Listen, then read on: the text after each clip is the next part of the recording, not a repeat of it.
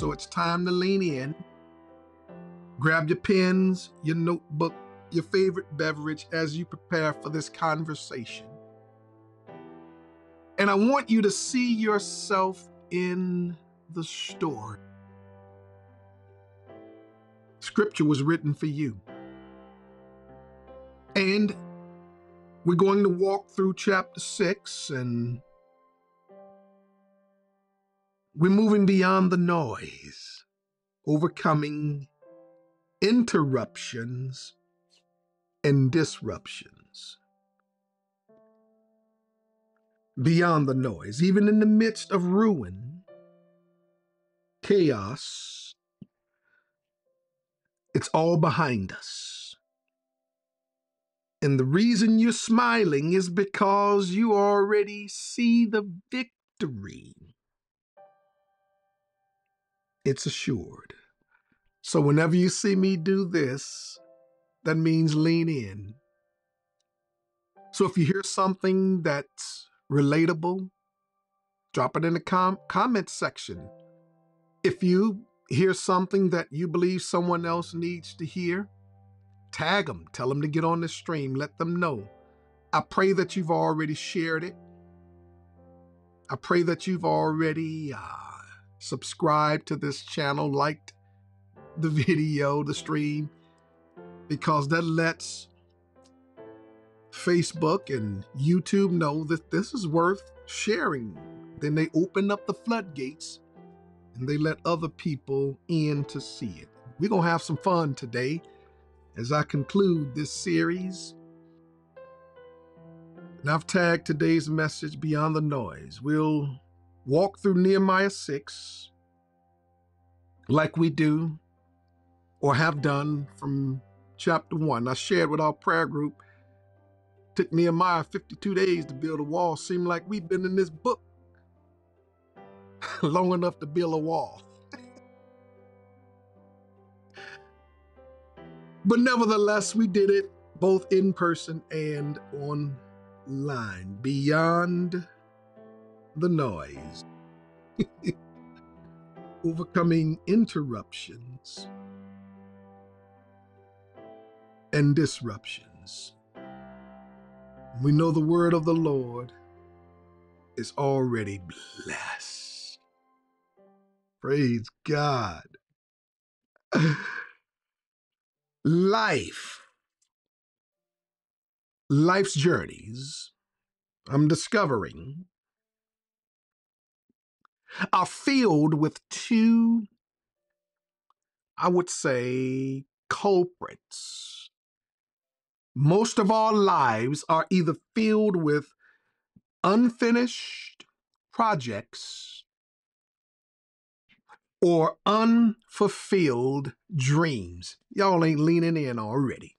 Our lives, most of us, we either have unfinished projects on one hand or unfulfilled dreams. We start with enthusiasm, but somehow, Shay, we we lose steam along the way. I want to drop a pin early in this message. Did you know that every significant achievement in life requires perseverance and dedication? Mm, nobody dropping any notes. If you're going to make it through anything, you're going to need perseverance and you're going to need dedication. And scripture celebrates not just those who start well and start strong, but those who finish strong. And I want to pass the finishers. Ooh, thank you, Holy Spirit. I want to be the one who can step back and just celebrate and, and cheer. Because, you know, it started rocky and you wanted to give up, you wanted to throw in the towel, but you stuck with it. You kept chipping away. You kept doing the things that needed to be done in the midst of what's going on and you finished. I want a pastor finishes because it's few of them. Why do you think that that so many of us struggle to cross the finish line? Talk to me. And whatever the finish line may be, you all, I'm thinking we we we have this excitement, uh-huh, that that, that that's often coupled with a a new beginning, but it often fades the moment we face challenges, the moment we have hardship, the moment we have setbacks. So we begin to fear the failure uh-huh, that, that, that's attached. And that failure begins to disrupt our comfort. And so we remain stuck in a place of comfort, all because we fear failure may be arising on the periphery. But but but our spiritual journey is no different. Because it's easy to become stagnant. And understanding the importance of finishing strong can motivate us to push through the hard times. I'm teaching this better than y'all responding. So can I set the foundation today?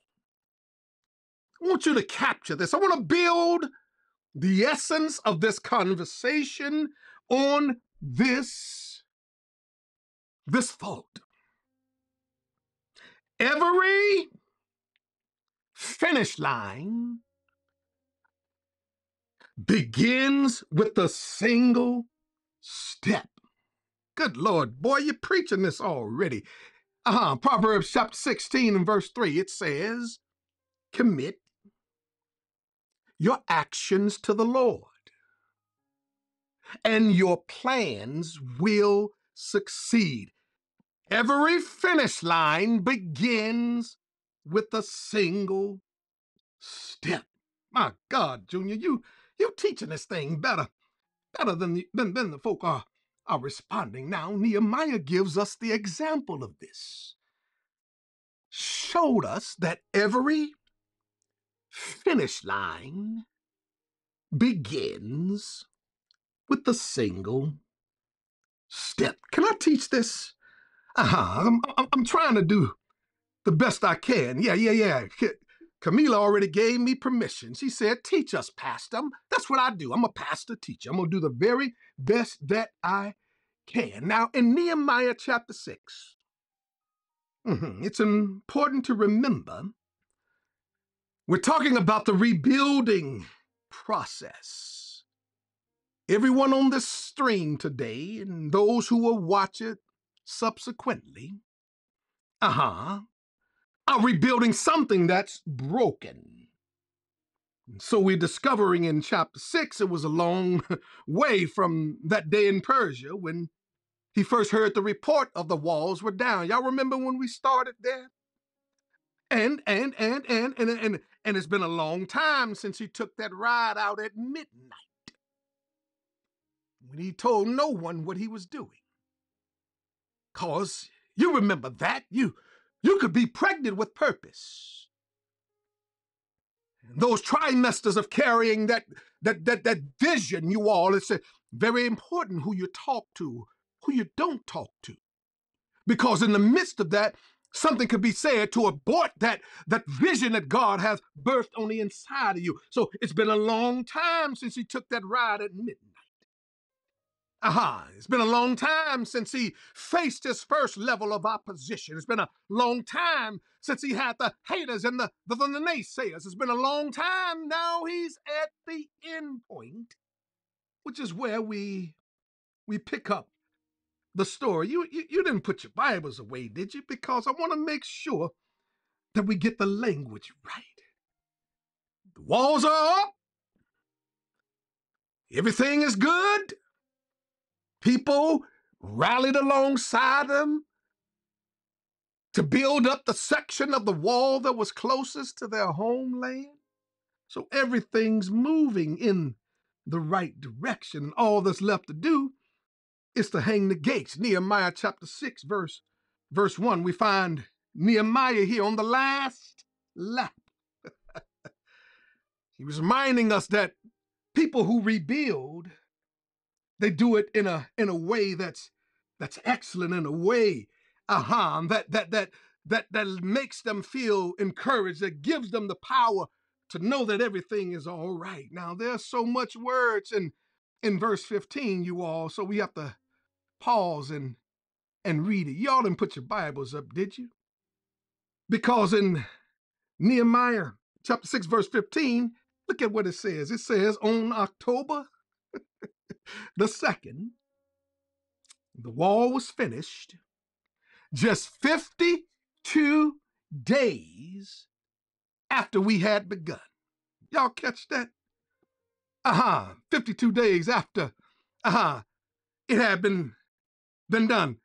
Every finish line begins with a single step. It's done now. And all that's left to do are to hang the gates. Now, now, now, now, I need to pause right here because there's so much potential right here. Now, now, now, we may have never made it to, to chapter 6. Mm-hmm. Had Nehemiah not stopped in chapter 3 to let us know that rebuilders let go without letting up. Mm, teach the scriptures, Clarence Edward. They know it's more important to delegate than to dictate or abdicate. Boy, you are preaching this thing here today. He sets clear objectives with specific tasks, picks the right people for the job. He was an example himself. He held people accountable and he gave genuine pats on the back and doses of encouragement so that people can keep moving forward. We may have never made it to Nehemiah 6, verse 15, had Nehemiah not stopped in chapter 4. That it's a reminder that you're going to be hit but it's the yards you gain after you hit. Y'all remember that? Yards after carry. I bet you watch the Super Bowl a little different. You don't just go down with the first hit, boy. You better teach this. No, you keep moving. It's the yards after carry that matter the most. He overcame obstacles. He knew it was the yards after contact that really mattered. He, he dealt with conflict head on. He made proper adjustments. He kept doing what was right and kept rallying the people to do what's right. Hmm. And so finally, we wouldn't have made it to Nehemiah chapter 6, verse 15, had we not learned the importance of the lesson in chapter 5. Y'all remember that? Rebuilders never cut what they can untie. Y'all remember that? I told that story last Sunday. Uh-huh, how I grew up with a guy. I don't think he could tie shoes. But when they were getting knots, he would just cut the shoestring off at the knot and then tie shoes up halfway. And we know that if you're going to rebuild something, sometimes it's best to just Take your time and untie that knot. I thought I saw that in the comments somewhere. You untie that knot and then work the kinks out of the relationship. Uh huh. They know that's a time to back off. Y'all remember that's a time to stand up? That's time to back off? Y'all remember that? Then there's a time to stand up. Uh huh. Then there's a time to reach out. Yeah, yeah, yeah. We talked about that last week. Now, after all of this, Nehemiah's down the home stretch. Chapter 6, verse 15 the walls are completed. And here it is, the only thing that's left. Oh my God. It's to hang the gates. Oh my God, my time look good, man. I'm about to shout you in these digital streets. And he gives us two warnings to look out for. Uh-huh. This is where I'm gonna land the plane. I'm getting ready to land the plane. I ain't landing it yet. Uh-huh. When you're on a plane, you know, you have to descend. So they tell you, put away your electronic devices. Put your tray tables up. Pull your seat back to the upright position. I ain't, I'm not about to land yet, but we're descending. And Nehemiah shows us an important thing because the last lap, digital pastors, drop this in the comment section. The last lap is the most dangerous and the most difficult. Teach this, Clarence. It's often the last lap that's the most dangerous time, the most difficult time of the rebuilding process. You know why? Because the enemy, teach this, Junior, comes along and makes one final ditch attempt to throw you off so you can't hang your gates. You got the walls up now, but hanging the gates is most important. And the enemy sought to get them on side streets. Boy, you better teach this thing. Uh huh. Better, better than your folk responding. Now, think about this. I want you to catch something. I want you to miss something. Now, most of you all who are, are watching this know, without a shadow of a doubt, that that that I'm in I'm in Chicago. Right, right. I need to put this back up one more time. Right there. You see that? I'm in Chicago. And the time is 11:20 a.m. Central. Now, I'm, I'm saying that to set some context because I don't want you to miss what I'm saying. Walls are up. Only thing that's left is to hang the gates. Now, in growing up in Chicago, I grew up on Harrison in California. Mm-hmm. True West Side. and then, uh-huh, uh, church was at 2809 West Harrison Street on Harrison in Chicago. We lived above the church. And then our church moved to the Austin neighborhood on Austin and Lake Street. Still West Side. Now, I'm I'm saying this because I'm from Chicago, and there are some streets your boy ain't going down. It's not that I'm scared, it's the fact that I'm smart. I don't have to prove who I am by going down certain street. So when I would leave Austin and Lake Street, uh huh, I'm not driving down Mayfield. I'm not driving down Menard. I'm not driving down Massasoit. I'm not driving down Mason.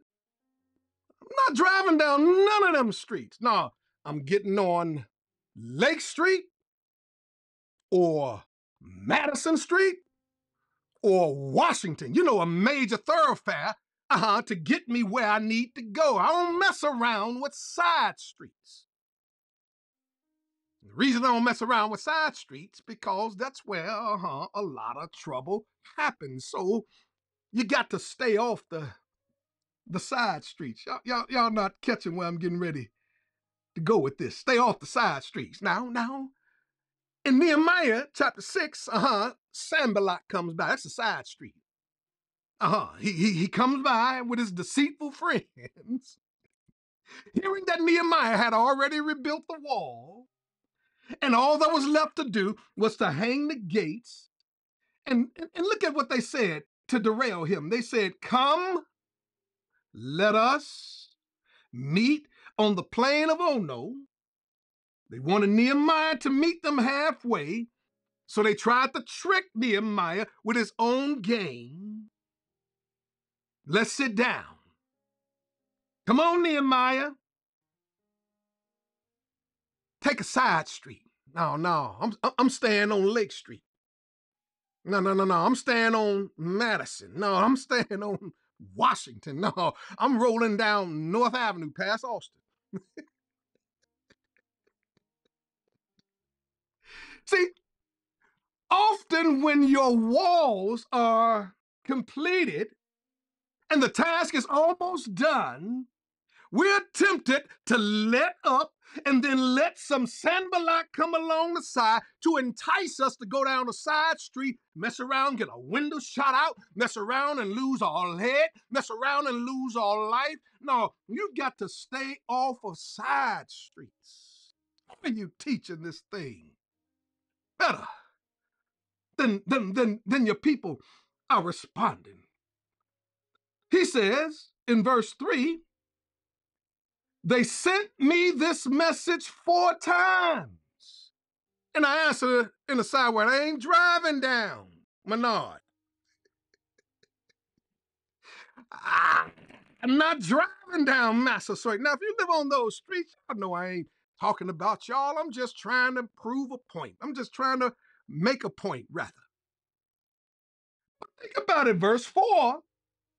He says, I answered them the same and, and, and he kept the answer the same in the same manner. He continued to reply that he was doing a great work and I can't come down. See, it's the side streets that get you in trouble. Yeah, I know some stuff happens on the main thoroughfare. Matter of fact, uh huh. I stay on the interstate, man. Man, I'm, I'm, if I don't have to take Madison to come into the city, if I don't have to take Washington or uh, or North Avenue, uh, or, or, or, or Lake Street. No, I'm on 290, 294, 94, because I need to get there quick as I can and stay off them side streets. A fifth time, in verse 6, they sent an open letter. And then, uh-huh, he says that, that, that it is reported that is, they say, who is they? It's always a they. The people are saying, they the people are talking about it. They are saying this, they are saying that. See, rumors have two characteristics. Digital pastors, help me out. Rumors are always nameless. You ever noticed how the source of a rumor is never quoted? Well, you know the people are saying, Reverend. Well, you know what they are thinking, Reverend. Well, who is they? Rumors are often nameless. And not only are rumors nameless, they're often shameless. Boy, you are really teaching this today. What I mean by shameless, they're over exaggerated. Nehemiah wanted to be the king of Judah. That was the rumor that they were throwing out there. And all this was was an attempt to get Nehemiah on Massasoit instead of staying on Madison. Are y'all, are, y'all catching what I'm what I'm saying? I'm trying to help you to see this. They were tempting him to get him to leave the building, come down to the plain of Ono, which is a side street. Nehemiah says, I'm doing a great work. I can't come down. I can only drive down Madison. I can only drive down Washington. I can only drive down Lake Street. I can only drive down North Avenue. I can only drive down Division. Now, I'm doing a great work, not coming to one of these side streets and get my head messed up. So, so what should be your response when you are confronted with nameless and shameless rumors? Think about it. Nehemiah teaches us what to do. No, he says right here, no such things you are saying, verses 8 through 9. He says, no such things as you are, as you say, are being done. Now, therefore, God strengthen my hands. He deals with the rumor. He refutes it, he rebukes it, and then he goes on to refer it. Verse 8. God, I, am running out of time. I'm trying to preach this the best best way that I can. So stay off of them them side streets. Stay focused. I think this is a good way to land the plane. Not only does he encourage them to stay off the side streets by staying focused, he also encouraged them to stay off the sidelines to remain faithful. Now, now, what does this mean? What does this mean? I want to help you out. What, what, what does this mean? You stay focused, stay off the side streets by staying focused, stay off the side lines by remaining faithful. Well, let me go ahead and land the plane. Let me go ahead and land the plane. Now, Nehemiah's steadfastness. It teaches us the significance of remaining faithful even when we are enticed to take side streets. Even when we are tempted to go into areas that God has forbidden. He understands something. He understands that when we yield into temptation, it has severe consequences, not just for him, but everyone around him.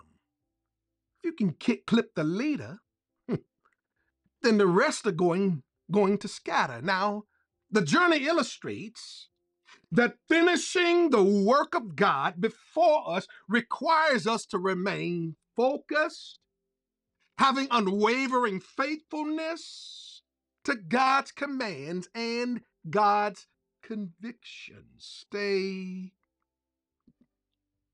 off the sidelines and stay in the game. You have the walls of your finances. You begin rebuilding them, and they are up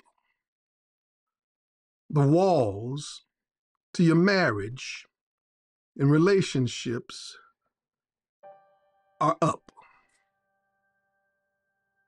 The walls regarding your emotional health are up.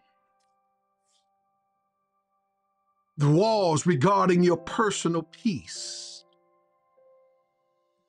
are up the walls regarding relationships with your siblings, your children, are up. And all that's left to do is to hang the gates.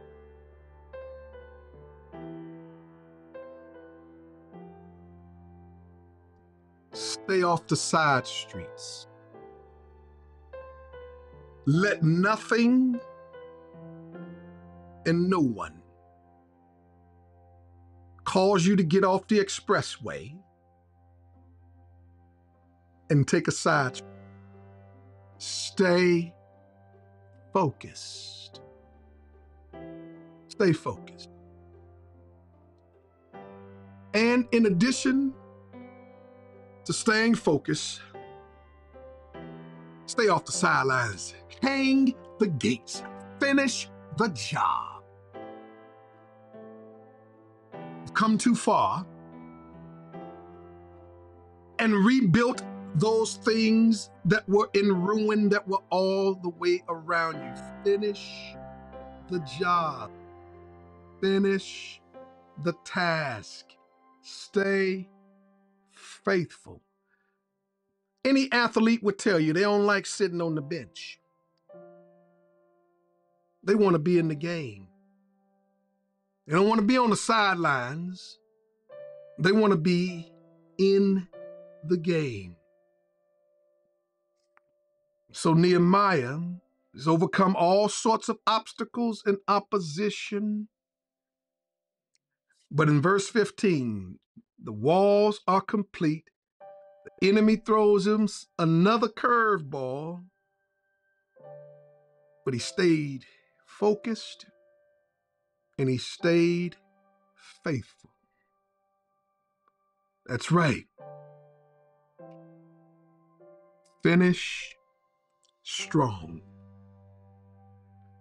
Let me know in the comments section who's standing with me. Stay off the side streets. Stay off the sidelines. Stay focused. Hang those gates. Drop it in the comments section. I will finish strong. Come on, drop that in the comments section right now. I will finish strong. There it is. Finish strong. Stay focused. Who's standing with me? Yes, I love to hear that. Stay off the side streets. Stay off the sidelines. It's starting to come in, man. I will finish strong. Yes, Karen, I see you. Yes, Mila, I see you. Uh-huh. Yes, Linda. Yeah. Uh-huh. Yes, Eddie P. I see you. Yes, Dr. Bounds. Yes, Lyndon. Yes, Kim. Yes, Esther. Yes, Big Rhea. Yes, Levita. Yes, Jacqueline. Yes, Waltrina, Sweetie Sipper. I hear you say, yes, I will. Cousin Betty, yes, I will finish strong. Come on through, Mitch. Finish strong. Finish strong.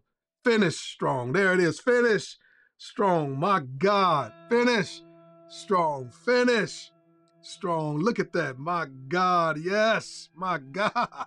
Y'all coming through like true champions. Hey, thank you all you